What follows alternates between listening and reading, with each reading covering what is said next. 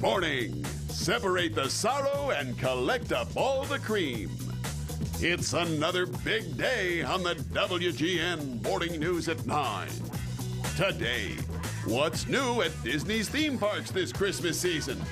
Bruce Pecco is back, and he knows everything about the happiest place on earth. Plus, Dean is cooking something perfect for Christmas or Hanukkah sweet and spicy cranberry meatballs. And Liz Taylor. We'll chat with the first ever authorized biographer of the Hollywood legend. Live from the WGN studios, this is the WGN Morning News at 9. Good morning, Mike. Good morning, you guys. Everybody's getting their houses ready for the holidays. In case you're looking for suggestions on decorating that bathroom, take a look at some of these. How about this? When's the last time you heard the words Santa and commode in the same sentence? Wow, it's yeah. beautiful. Or you can go with this option right here. Go the old full Santa, wearing the outfit and all. We have the, uh, I'm not looking, but there I am. Followed by the snowman All toilet. right. And the, fun. Yeah, and uh, if you're looking to get one, you can pick one up for $5.95 at your local retailer. There you go. Yeah. Nice. And the other snowman is kind of got a little mischief. Makes it fun. It, it makes it all so much fun. So much better. So there. Thanks, Mike.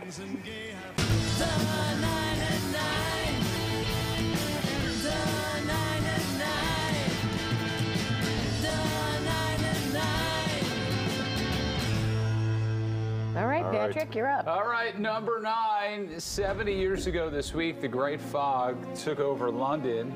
It was considered one of the deadliest environmental disasters in the history of the world. Uh, people struggled to breathe and can barely open their eyes. Uh, visibility was practically zero. Drivers had to abandon their vehicles. The city was shut down for several days as officials tried to figure out what was happening. Turns out a cold front had moved in. Yeah. Everyone turned on their cold, uh, their coal stoves for warmth, and something called an anti-cyclone formed over the city, which trapped the winds and mixed in with the fog and other pollutants. It led to changes in the city's standards and regulations, and never happened again. I think they touched on that in the first season of The Crown. Am I remembering that correctly? Oh, Uh, you know what? I'll have to go back and Just a deep dive, I've yeah. seen all of the episodes. yeah. Yes. but, Those early ones were really good. Anywho, Number eight, uh, I bet this would go over really well here in Chicago. On the Japanese island city of Shimabara, they have hundreds of koi fish swimming right in the gutters. They made these drainage canals a while back, and the water is so clean. Uh, they decided back in 1978 to just put some fish in there. Koi need clean water to survive, so they would probably not do so well here. But isn't that a nice little fun look thing? at that. You walk down the Lovely. street and Yeah. Some fish Koi are right there fun. for you. Isn't We're gonna that put nice? one of those uh, in our hallway. I bet they have one of those up in News Nation. Yeah, bet they have a koi probably I bet they Yeah. have one of those up there. They have a sushi chairs. bar, They everything. just take the koi right from the pond, Right. and it's fresh sushi. Huh? Yeah. Uh, no, we're good with everything we got down No, here. we're fine. Wouldn't change a thing. Number seven, single people are trying to invent their own version of Spotify Wrapped for their dating apps. You've probably seen this all over social media. People sharing their most listened to songs from 2022. And people want the same kind of insight from their year in dating. For example, this year, you swiped on 27 guys named Henry, and nine of them were posing with their dogs. Oh. You swiped left 97 times. You swiped right 19 times. Information like that. Doesn't seem possible to keep track of all the different apps, but maybe next year. One can dream. Yeah. All right, number six, Jack Nicholson grew up believing that his mother was his sister and that his grandmother was his mother. Oh, wow. It's a long story and one that he believed for almost 40 years. Nicholson's mother, June, got pregnant in New Jersey in 1936 by a man who was married to another woman. She was 18. To keep up appearances for that time, Jack's grandmother raised Jack as her own, pretending June was his older sister. Wow, wow. June wanted to be in show business, so she moved away from Jersey when Jack was just four years old. Nicholson himself moved out west when he was 17. So fast forward to 1974 when the hit Chinatown is about to come out. Uh, when Nicholson was in that, made him a big star. June had died by that time. His June was the mom. June was the actual mom. She Yeah. had been died by that time. But a magazine did a feature on Jack Nicholson and was doing some fact checking. And the researcher figured it all out and Oh, called boy. Jack Nicholson with the news. He was 37 years old and he had just learned this. He had no idea Ah, about all of awkward this. phone call. Uh, Jack said he was shaken, but he wasn't really traumatized because it was already a grown man. He asked the magazine not to include it and doesn't talk much about it publicly. But Wow. Wonder if the grandma was still kicking at that time. That's a comment I would have loved to. Yeah, it's complicated Yeah. there. grandmother had died by that time. She was dead Yeah, I just found from the. Oh man, poor guy. want the our research sooner. staff just Boy, got in my didn't uh, ear. us. That's Yeah. terrible. Yeah. Um, number five, I found. Oh, guys, I found the perfect team building game for us. uh, it's called Find the Duck. All right. Yep. Now, uh, it's usually reserved for Indonesian Independence Day. Yeah. But I'm thinking, Yeah. I'm thinking This it's is the holidays. It's in the hallway. Now, all you got to do is, you, and it's, you don't have to catch the duck. You just got to touch the duck. All right, Ah. fair enough. Let's see It it. just This is, is a if you good can duck. be blindfolded and you can touch the duck, which is not a euphemism for anything. It means actually touching a real live duck. Oh, You someone's win gonna get game. it. So, come on. This duck is a good hider. Yeah. The best. Boy, the crowd's not helping either. No, it needs a oh, goose. Oh, got- that guy needs a goose right there. wow. This is awesome. Why are we doing this every Fun. day Oh my gosh, so close. Don't we have a Christmas party coming up or something? No, I don't think we have one. This we could do this instead. Yeah. It's not expensive. You can probably just Uh, grab one of the ducks, you, geese out you of can get a the- duck for 20 bucks. Got a whole bunch of these Canadian ones out in the side yard. We can Oh, sneak I'd out like there to do. and I'd like to grab do one more of than those. touch one of those. I can tell you that right now. That's a fun time. Good time. Yeah. That might be my next courtesy desk. That's Good a, idea. see if we can just get one of those Canadian ones. You just have really have to get like a like a blow up pool and you Yeah. put it right in Yeah. there. Yeah. Yeah. See if our news director wants to I'm play sure. along. All right, number four, the cold girl makeup trend is all over the talker right now. Uh, the, the idea is to look like your cheeks are flushed or slightly frosted. uh, so you need to sweep a little pink blush across your cheeks and your nose and create that rosy look. And then you're going to add a touch of shimmer uh, to the inner corner of your eyes.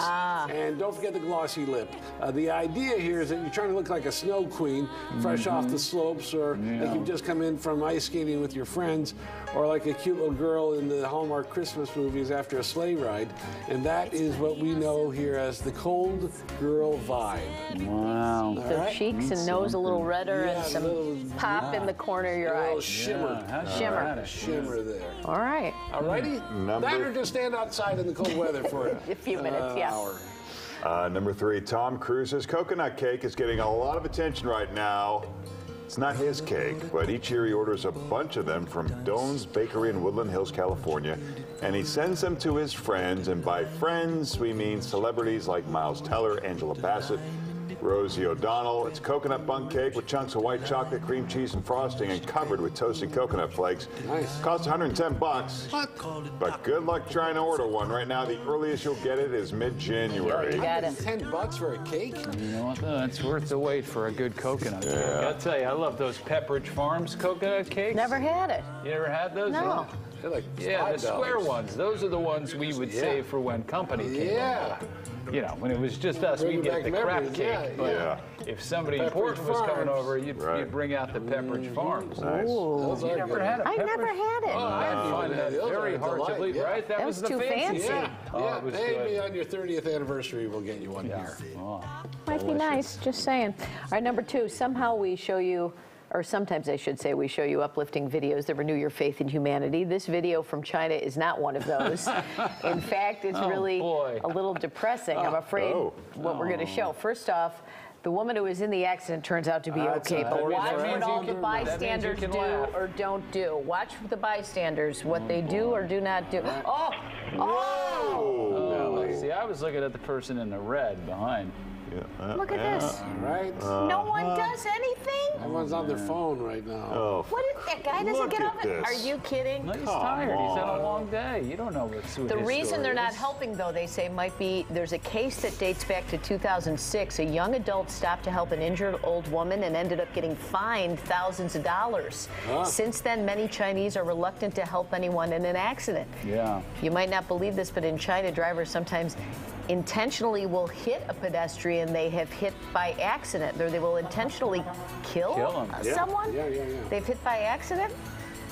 There's security video to back this up. They call them double hit cases, and the reason is the same money. If you kill someone, there's a fine and maybe a charge for burial. If you injure someone, the financial penalties call for the driver to pay for a lifetime of ah. care, All right.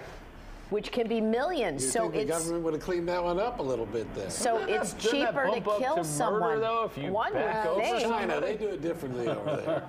Wow. Interesting. Well, I I gotta say that was that was you that was depressing. It Yeah. was. Yeah. It lives up to it. Number But we're in. America, so Yeah. we don't have to be Let's depressed. hope this Well, is we're better. going to change some things now, Paul. right. Um, that is about to change um, the mood a little bit. We'll look now at more traffic videos from China. That'll make us laugh Oh, I because like this. there's a separate phenomena in China of many people who are scammers who pretend to be in traffic accidents in order to sue and take money from Wow. people who help them Oh, out. my So goodness. This is complicated. Like sometimes they just lie down in front of the car. oh yeah. Wow.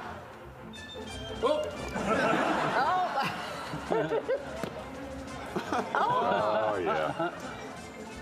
oh. Oh my goodness. Wait, these are like the NBA floppers. Yeah. Oh, See, in these instances, you should get to run them over. Yeah, I yeah, think yeah, in yeah, these yeah. And maybe get instances- hundred dollars. Yeah. look at this. Oh my gosh. Wow.